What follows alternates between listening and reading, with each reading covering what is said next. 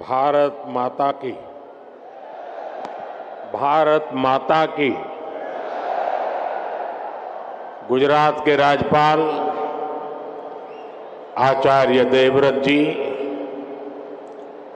गुजरात के लोकप्रिय मुख्यमंत्री भूपेंद्र भाई पटेल। केंद्रीय मंत्रिमंडल के मेरे सहयोगी पुरुषोत्तम रूपाला जी। संसद में मेरे साथी C R Patil, Amul chairman Shri Shyamal bhai, और यहाँ इतनी बड़ी संख्या में पधारे मेरे प्यारे भाई और बहनों।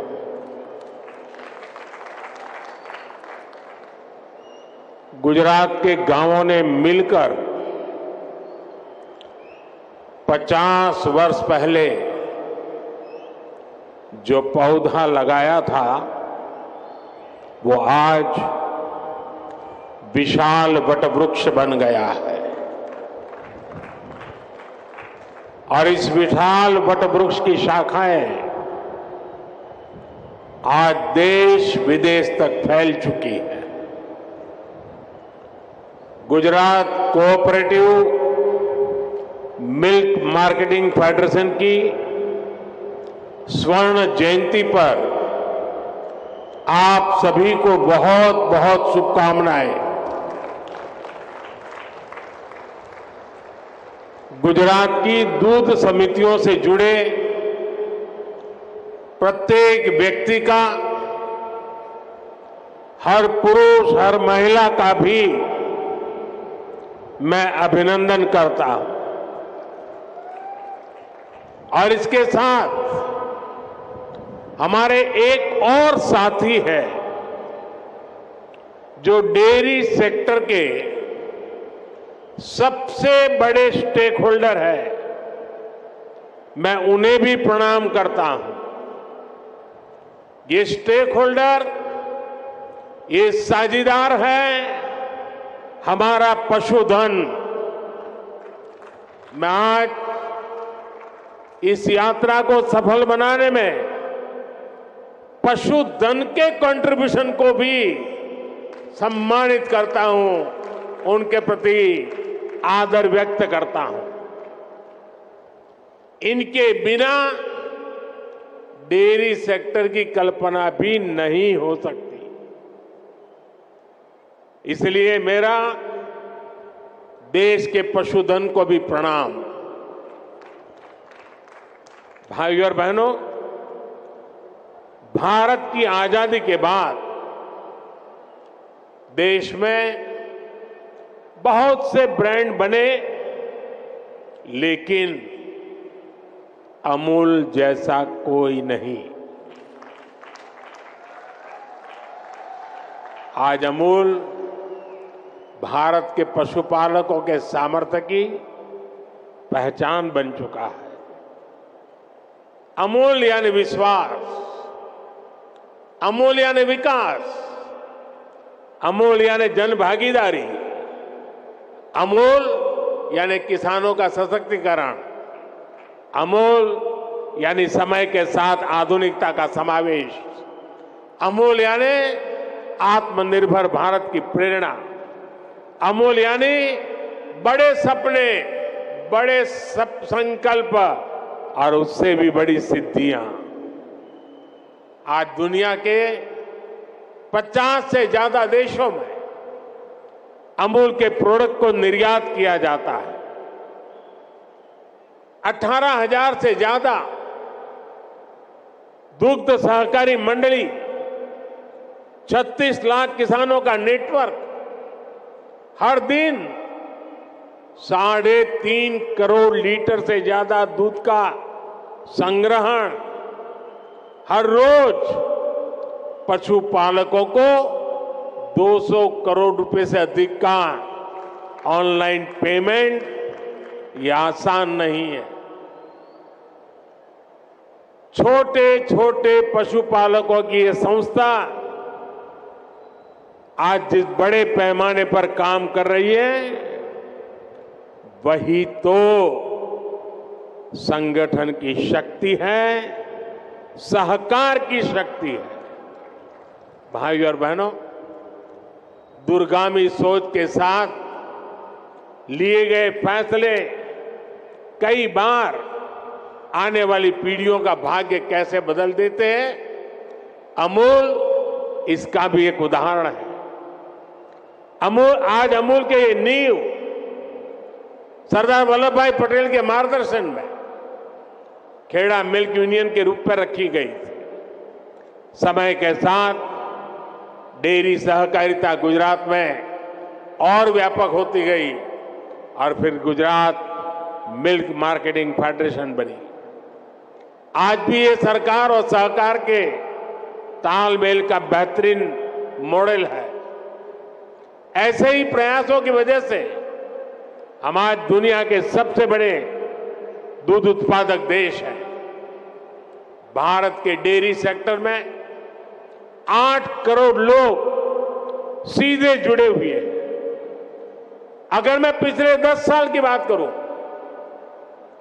तो भारत में दूध उत्पादन में करीब करीब 60 प्रतिशत वृद्धि हुई है। पिछले 10 वर्षों में प्रति व्यक्ति दूध उपलब्धता भी करीब करीब 40 प्रतिशत बढ़ी है। दुनिया में डेयरी सेक्टर सिर्फ़ दो प्रतिशत की दर से आगे बढ़ रहा है, जबकि भारत में डेयरी सेक्टर छह प्रतिशत की दर से आगे बढ़ रहा है। साथियों, भारत के डेयरी सेक्टर की एक सबसे बड़ी विशेषता है, जिसकी उतनी चर्चा नहीं होती। आज इस ऐतिहासिक अवसर पर मैं इस विषय पर भी विस्तार से चर्चा करना चाहता हूँ। भारत में 10 लाख करोड़ रुपए के टर्नओवर वाले डेयरी सेक्टर की मुख्य कर्ता धर्ता देश की नारी शक्ति है। हमारी माताएँ हैं, हमारी बहनें हैं, हमारी बेटियाँ हैं। आज देश में धान, गेहूँ और गन्ने को भी मिला दें तो भी इन फ़सलों का टर्नओवर 10 लाख करोड़ रुपए नहीं होता, जबकि 10 लाख करोड़ टर्नओवर वाले डेयरी सेक्टर में 70 प्रतिशत काम करने वाली हमारी माताएँ, बहनें, बेटियाँ हैं भारत के डेयरी सेक्टर की असली रीढ़, असली बैकबोन यही महिला शक्ति है। आज अमूल सफलता की जिस ऊंचाई पर है, वो सिर्फ़ और सिर्फ़ महिला शक्ति की वजह से है। आज जब भारत विमेन लेड डेवलपमेंट के मंत्र के साथ आगे बढ़ रहा है। तो भारत के डेयरी सेक्टर की ये सफलता उसके लिए एक बहुत बड़ी प्रेरणा है। मैं मानता हूँ कि भारत को विकसित बनाने के लिए भारत की प्रत्येक महिला की आर्थिक शक्ति बढ़नी उतनी ही आवश्यकता है। इसलिए हमारी सरकार आज महिलाओं की आर्थिक शक्ति बढ़ाने के लिए भी चौतरफा काम कर रही है। मुद्रा योजना के तहत सरकार ने जो 30 लाख करोड़ रुपए से ज़्यादा की मदद दी है, उसकी करीब 70 प्रतिशत लाभार्थी बहनें बेटियाँ ही है। सरकार के प्रयास से पिछले 10 साल में महिला सेल्फ हेल्प ग्रुप से जुड़ी महिलाओं की संख्या 10 करोड़ को पार कर गई है। पिछले 10 साल में भाजपा सरकार ने इन्हें 6 लाख करोड़ रुपए से अधिक की आर्थिक मदद दी। सरकार ने पीएम आवास योजना के तहत देश में जो चार करोड़ से ज़्यादा घर दिए हैं, उनमें से ज़्यादातर घर भी महिलाओं के नाम है। ऐसी अनेक योजनाओं की वजह से आज समाज में महिलाओं की आर्थिक भागीदारी बढ़ी है। आपने नमो ड्रोन दीदी अभियान के बारे में ज़रूर सुना होगा। इस अभियान के तहत अभी शुरुआत में गाँव के स्वयं सहायता समूहों को पंद्रह हज़ार आधुनिक ड्रोन दिए जा रहे हैं। ये आधुनिक ड्रोन उड़ाने के लिए नमो ड्रोन दीदियों को ट्रेनिंग भी दी जा रही है। वो दिन दूर नहीं, जब गाँव गाँव में नमो ड्रोन दीदियाँ कीटनाशक छिड़कने से लेकर खाद छिड़कने में भी सबसे आगे रहेगी। साथियों, मुझे खुशी है यहाँ गुजरात में भी हमारी डेयरी सहकारी समितियों में महिलाओं की संख्या लगातार बढ़ रही है। मुझे याद है, जब मैं गुजरात में था तो हमने डेयरी सेक्टर से जुड़ी महिलाओं के लिए एक और बड़ा काम किया था। हमने सुनिश्चित किया कि डेयरी का पैसा हमारी बहनों, बेटियों के बैंक खातों में सीधा जमा हो।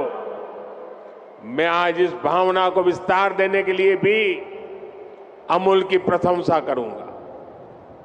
हर गाँव में माइक्रो एटीएम लगने से पशुपालकों को पैसा निकालने के लिए बहुत दूर जाने की ज़रूरत नहीं पड़ेगी।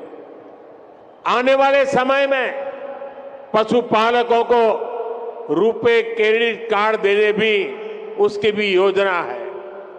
पायलट प्रोजेक्ट के तौर पर पंचमहाल और बनासकांठा में इसकी शुरुआत भी हो चुकी है। भाई और बहनों गांधी जी कहते थे कि भारत की आत्मा गाँवों में बसती है। विकसित भारत के निर्माण के लिए भारत की ग्रामीण अर्थव्यवस्था का सशक्त होना ज़रूरी है। पहले केंद्र में जो सरकारें रही, वो ग्रामीण अर्थव्यवस्था की जरूरतों को टुकड़ों में देखती थी। हम गाँव के हर पहलू को प्राथमिकता देते हुए काम को आगे बढ़ा रहे हैं।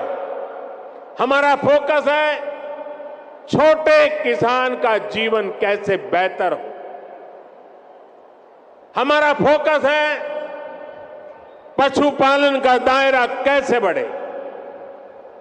हमारा फोकस है पशुओं का स्वास्थ्य कैसे बेहतर हो। हमारा फोकस है गाँव में पशुपालन के साथ ही मछली पालन और मधुमक्खी पालन को कैसे प्रोत्साहित किया जाए?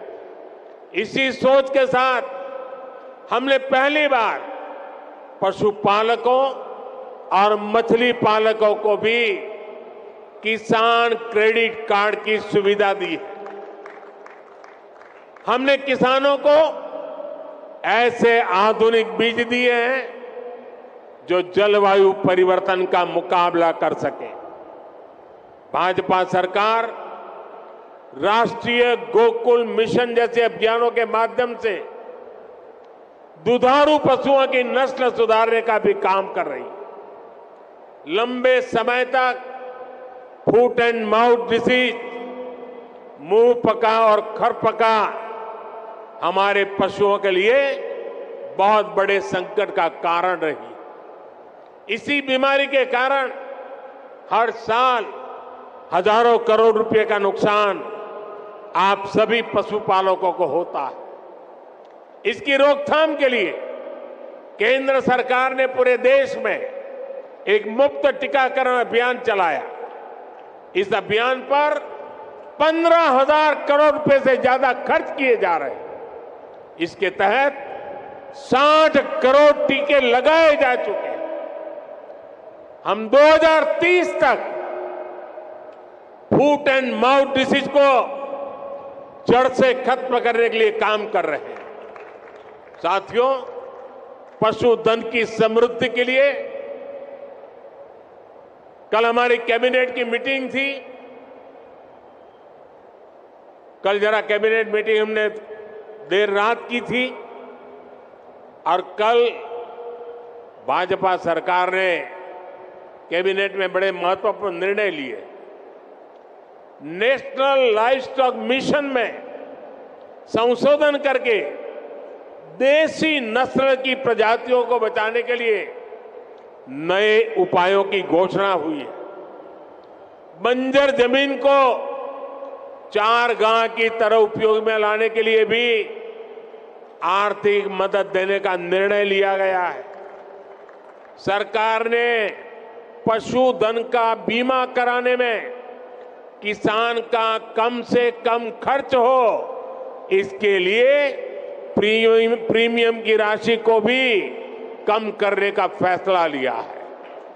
ये फैसले पशुओं की संख्या बढ़ाने, पशुपालकों की आय बढ़ाने में और मददगार साबित होंगे। साथियों, हम गुजरात के लोग जानते हैं कि पानी का संकट क्या होता है? सौराष्ट्र में, कच्छ में, उत्तर गुजरात में, हमने अकाल के दिनों में हज़ारों पशुओं को एक स्थान से दूसरे स्थान पर मीलों मीलों चलते जाते देखा है। हमने पशुओं के मरती मरते पशुओं के ढेर उसकी तस्वीरें भी देखी है। नर्मदा जल पहुँचने के बाद ऐसे क्षेत्रों का भाग्य बदल गया। हम प्रयास कर रहे हैं कि भविष्य में ऐसी चुनौती से ना जूझना पड़े। सरकार ने जो साठ हज़ार से ज़्यादा अमृत सरोवर बनाए हैं, वो भी देश की ग्रामीण अर्थव्यवस्था को बहुत मदद करने वाले हैं। हमारा प्रयास है कि गाँव में छोटे किसान को आधुनिक टेक्नोलॉजी से भी जोड़े। गुजरात में आपने देखा है कि बीते वर्षों में माइक्रो इरिगेशन का दायरा, टपक सिंचाई का दायरा कई गुना बढ़ गया है। टपक सिंचाई के लिए किसानों को मदद दी जा रही है। हमने लाखों किसान समृद्धि केंद्र स्थापित किए ताकि किसानों को गाँव के निकट ही वैज्ञानिक समाधान मिल सके। जैविक खाद बनाने में किसानों को मदद मिले, इसके लिए भी व्यवस्थाएँ बनाई जा रही है। साथियों, हमारी सरकार का ज़ोर अन्नदाता को ऊर्जादाता बनाने के साथ ही उर्वरक दाता बनाने पर भी है। हम किसानों को सोलर पंप दे रहे हैं, खेत की मेड़ पर ही छोटे छोटे सोलर प्लांट लगाने के लिए मदद दे रहे हैं। इसके अलावा गोवर्धन योजना के तहत पशुपालकों से गोबर भी खरीदने की व्यवस्था बनाई जा रही है। गोबर से जो हमारे डेयरी प्लांट हैं, वहाँ बिजली पैदा की जा रही है। बदले में जो जैविक खाद बनती है, वो वापस किसानों को बहुत कम कीमत में उपलब्ध हो रही है। इससे किसान और पशु दोनों को तो लाभ होगा ही। खेत की मिट्टी के स्वाद का भी बेहतर लाभ होगा।